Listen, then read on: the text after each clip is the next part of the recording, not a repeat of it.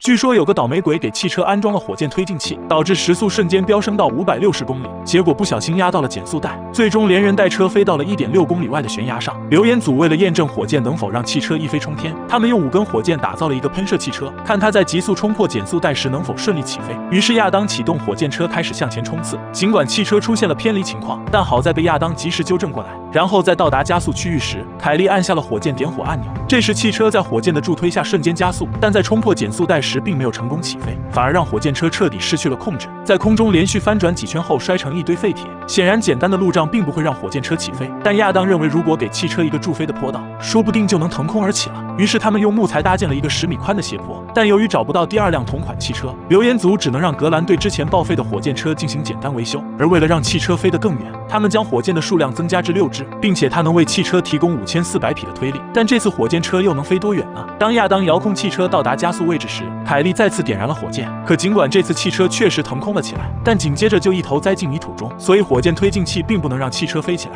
本次实验非常危险，大家千万不要随意模仿。据说用屎可以当做燃料发射火箭，因为屎中含有大量的碳水化合物，能在燃烧时释放巨大能量。可它真能让火箭一飞冲天吗？留言组为了验证这个说法是否扯淡，亚当和吉米决定亲自打造一枚大便火箭。而传统火箭结构由顶部的液氧与底部的石蜡组成。当火箭点火时，液氧会通过中间的阀门与石蜡混合，从而燃烧产生推力，让火箭飞向天空。实验中只需将燃料棒中的石蜡替换成大便，就能完成火箭的制作。于是吉米贡献出珍藏了大半年的奥利给，并将它平摊在地面进行晾晒。等完全干燥后，再放入和面机研磨成粉末，最后加入氧化剂与粘合剂，这样就制作成了固体燃料柱。但这样处理后的便便并不会有味道。不信的话，大家可以尝试一下。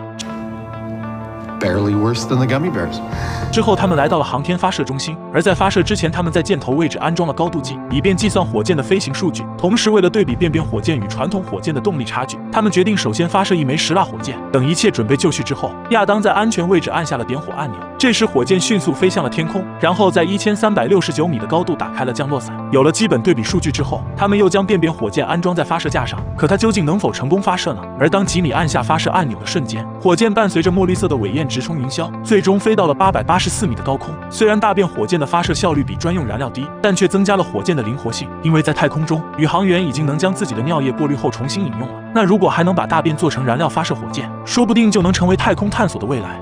据说将枪管折弯后还能正常发射，并且在第二次世界大战期间，德国就曾设计出一款弯管步枪。可这样射出的子弹不会炸开枪管吗？留言组为了验证这个说法的真实性，亚当和吉米决定将手上的这把步枪进行改造，看掰弯后的枪管能否正常发射子弹。于是他们来到了射击实验场，并把步枪固定在台面上，然后将弹道凝胶摆放在枪口的正前方。而首先进行的是直线射击的对照实验，看在正常枪管下子弹的出膛速度是多少。等所有准备就绪之后，吉米在防爆门后拉下了开枪的绳索，这时子弹迅速穿透了凝胶，并且在撞击玻璃后反弹，再次击中凝胶。而高速相机计算得到子弹出膛速度为三百七十一米每秒，这种情况下击中人体一定会造成致命伤。可将枪管弯曲后又会怎么样呢？为了让枪管重新塑形，吉米搞来了一台烧烤炉子，而他拥有五个丙烷喷气嘴，能瞬间将食物加热到几千度。之后，亚当把拆下的枪管放入炉腔内，等加热到红热状态时，他们将枪管掰弯到了四十五度，紧接着迅速泡在水中进行淬火，因为这样才能保持之前的物理强度。然后，亚当重新安装好枪管。并再次开始了测试。而当吉米拉动绳索的瞬间，让所有人意外的是，子弹依然正常射出，并击中了凝胶后的防弹玻璃，同时速度也达到了三百四十五米每秒。这样的威力只比直线射击衰减了百分之七。如果打在了哪个粉丝身上，绝对会有一点点疼。那如果继续增加枪管弯曲程度，子弹还能成功发射吗？于是他们将枪管弯折成了九十度。如果这样还能成功发射子弹，那将会是一件很有趣的事。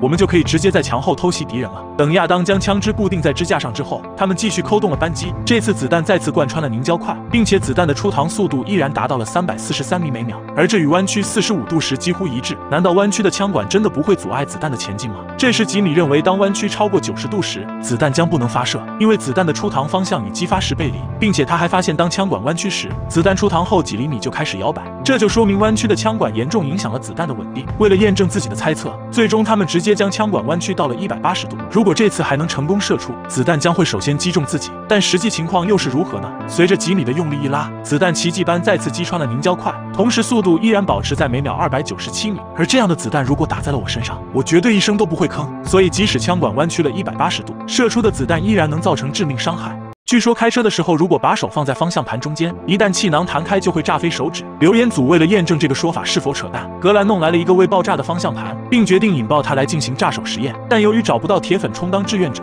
托瑞决定制作一双实验假手。于是他用自己的手臂进行倒模，然后灌入融化的凝胶。同时，为了达到与真人手指相同的物理特性，他们还在手掌内放入了击骨。之后，格兰将假手以正常的驾驶姿态固定在方向盘上，并且连接上引爆气囊的引线。等一切准备就绪之后，他们躲在防爆门后按下了起爆按钮。随着一声爆炸响起，气囊瞬间就将假人手臂弹开。但经过检查，他们发现假人的手指并没有任何受伤。但现实中老司机都喜欢将自己大拇指翘起来，这样会不会更容易受到伤害呢？然而当他们再次引爆气囊时，假人手指依然没有丝毫受伤。这时凯莉表示，很多女司机开车都会将手指放在方向盘中间。于是托瑞重新制作了假手，并按照凯莉的开车姿势固定在方向盘上。而当他们重新引爆气囊时，假人的大拇指竟然真的折断了。可见气囊爆炸的威力是非常大的，并且在懂车帝上可以看到，现实中的交通事故里，很多二次伤害都是气囊爆炸造成的。想要避免这样的情况，可以看懂车帝上各位老司机的经验分享。那如果在拐弯的时候触发了气囊，又会不会对我们造成伤害呢？最后，他们将假人摆成了拐拐弯姿势，紧接着气囊再次被弹了出来，而这次弹开的手臂却一巴掌砸在了头上。如果现实中真的发生这样的事情，那肯定会有一点点疼。所以大家在开车的时候一定要注意正确姿势，不然安全气囊就不会安全的。据说，如果将汽车切成两截，车头部分还能正常行驶，并且在电影《青蜂侠》中有过这样的剧情。周杰伦就靠着被切断的半个车头逃脱了敌人的追杀。刘彦祖为了验证这种做法是否可行，他们弄来了一辆不要钱的全新二手汽车，并决定用这些工具将它从中间一分为二。但由于切割油箱可能会造成意外事故，所以托瑞先拆除了汽车的油箱，然后三人抄起电锯开始切割。一阵火花带闪电之后，汽车很快就变成了两截。可这样的半截车头真能成功启动吗？凯莉认为，尽管没有油箱提供燃料。不过管路里剩余的汽油足够发动引擎，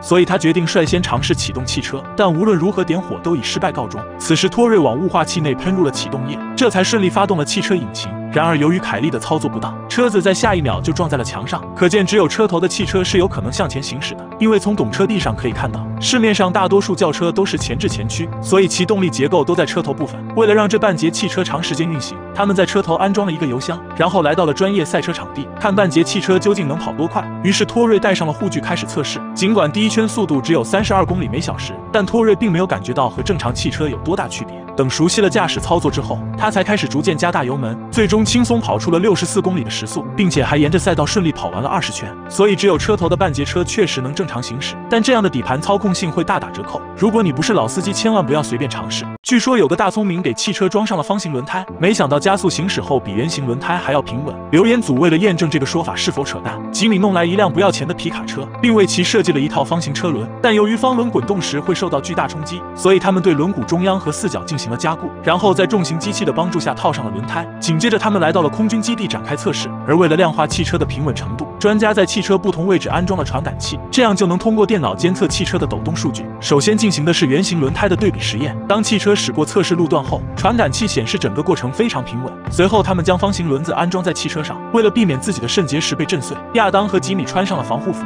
可这次的驾驶体验会不会更好呢？而当吉米刚启动汽车，他们就感受到车身剧烈的摇晃。但随着车速越来越快，汽车竟然开始逐渐平稳下来。可是没坚持到三秒钟就抛锚了。亚当下车查看，才发现后轮都已经脱落。而电脑显示，随着车速的提高，汽车确实越来越稳定。为了达到更加平稳行驶的效果，亚当决定错开四个轮子的角度，这样增加顶点着地的次数，就能使汽车更加平稳。而通过模型测试，他们发现，当对角轮胎夹角为四十五度时，模型汽车的颠簸幅度最小。于是他们重新调整了方形轮胎的角度，然后再次开始了测试。虽然刚开始两人感觉相比之前确实稳定了很多，并且电脑显示也比之前更加平顺，但随着速度加快，最终轮胎还是没能承受巨大冲击而全部脱落下来。所以方形轮胎是不可能正常行驶的。据说将牙刷放置在卫生间就等于吃翔，因为开放式的马桶在冲水时，大便微粒会漂浮在空气中，从而沾染在你用的牙刷上。相信大家听到这个留言都会大吃一惊。可我们每天坚持刷牙，真的就为了这一口吗？留言组为了揭开这个问题的答案，他们决定先做个小型测试，看我们在冲马桶时，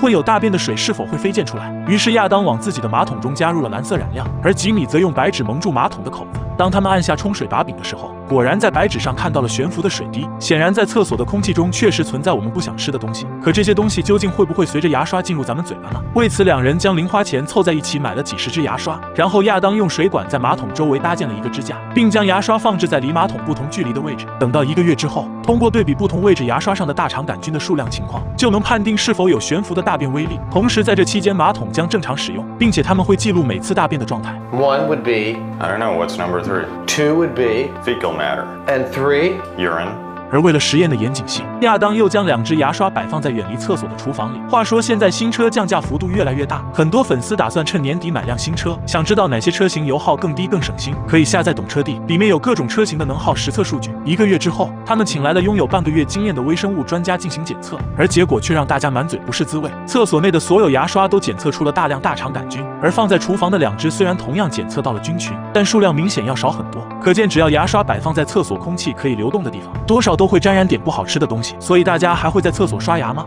据说白酒能代替汽油充当汽车燃料，并且驱动速度比汽油还要快，因为白酒的主要成分是可以燃烧的乙醇。而美国就曾发生过这样一个故事：一群流氓在酒后乱来时被警察逮个正着，刚好在逃跑途中燃油不足，于是他们将白酒倒进了油箱，然后奇迹般逃脱了警察的追捕。留言组为了验证这种做法是否扯淡，他们花巨资弄来了三辆不要钱的汽车，并且三辆车属于同一个品牌的不同年代，然后分别给他们灌入九十六度的伏特加。通过观察三辆汽车的运行情况，就能判断留言的真假。首先，托瑞将驾驶七十年代的汽车进行测试，而这辆汽车的发动机采用较老的化油器供油方式，一旦燃料不足，就可能无法点火。但当托瑞拧动钥匙的一瞬间，汽车竟然很轻松就启动了。然而，等他们加速向前行驶时，汽车却又很快熄火了。接下来，格兰对另一辆生产于九零年代的汽车开始了测试，并且它的引擎采用电喷的供油方式。虽然刚开始点火起步都很顺利，但跑完一圈时，发动机就出现了明显抖动，然后就失去了动力。显然，这两辆老式汽车用酒精驱动的效果并不理想。那最新款的汽车又能否正常行驶呢？话说，现在新车降价幅度越来越大，很多粉丝打算趁年底买辆新车。想知道哪些车型油耗更低更省心？可以下载懂车帝，里面有各种车型的能耗实测数据。随后，凯利将烈酒倒入了最后一辆汽车，而作为最新款的汽车，它拥有先进的电脑控制缸内直喷技术。从原理上来说，对燃油的要求非常高，以至于启动时非常吃力。就在大家都不抱任何希望时，引擎突然成功启动了，并且在随后的测试中，他们发现加白酒的驾驶体验与正常汽油几乎没有差别。可见酒精确实能代替汽油充当汽车燃料，但与汽油相比，酒精驱动汽车的速度真的比汽油还快吗？接下来他们继续开始了实验。据说高度白酒能代替汽油驱动汽车，并且驱动速度比汽油还要快。为了验证这个说法是否扯淡，接下来留言组来到了专业的赛车场地，他们计划分别给两辆相同的新款汽车使用汽油和白酒，然后对比跑完三圈所需的时间。首先，他们对传统汽油汽车进行了测试。随着凯利的大旗一挥，托瑞驾驶汽车以弹射起步，并且在整个过程保持最高速度，一顿猛如虎的操作下来，最终的成绩是两分二十六秒。随后，托瑞驾驶白酒汽车再次开始了测试。虽然喝了酒的汽车起步加速有点肉，但让人意想不到的是，最终成绩比汽油车还要快两秒。从这次测试结果来看，高度白酒驱动汽车的速度确实要比汽油快。但这时身经百战的凯利却提出了质疑，他认为在留言中的追逐情节里，速度只是其中一个因素，更持久的耐力才能成功躲避警察的追捕。于是他们又开始了进一步的测试，而这次将模拟留言中的场景。实验中，格兰将扮演驾驶白酒汽车的流氓，而托瑞和凯利则假扮警察驾驶汽油车对格兰进行追打，看在十六公里的距离内能否超越格兰。话说现在新车降价幅度越来越大，很多粉丝打算趁年底降价买辆新车。想知道哪些车型销量更高更保值？可以下载懂车帝，里面有各种车型的年度销量排行榜。等一切准备做好之后，当格兰启动白酒汽车从托瑞面前呼啸而过时，两人丢掉手上的馒头，立即驾车追了上去。尽管两位老司机把油门都踩进了油箱，可最终还是被白酒汽车远远甩在了身后。可见白酒不仅能驱动汽车，而且动力效果比汽油还要好。但由于酒精燃烧会产生乙酸，这就可能造成发动机损坏，所以大家还是不要用自己的汽车尝试。